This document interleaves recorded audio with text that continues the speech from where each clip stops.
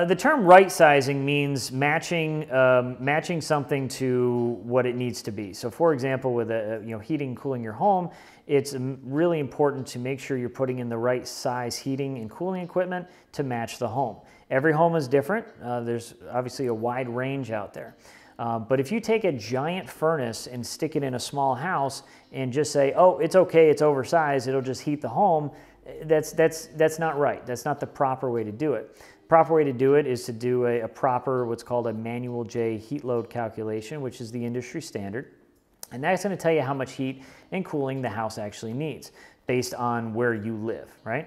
So if we put in a, it's, it's important to put in the right size equipment because if it is too big, what's going to happen is you're going to have comfort issues in the home.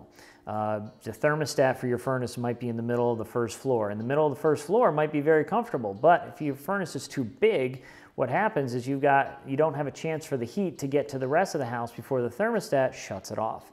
So it's really, really important to make sure you're putting in the right size heating equipment. Um, if you don't, um, you run into comfort issues and it's too hot or too cold. Uh, and you're also going to shorten the life of the equipment. So that equipment is going to run on off, on off, on off. It's called short cycling. It's not good for the equipment. It's not good for the comfort of the home. You're just really cutting down the life of the uh, heating system in your home. So it's really important to make sure you right size your equipment. It's, it's, it's worse to oversize than it is to undersize, but it's always right to right size. So you always want the right thing in the right house every time.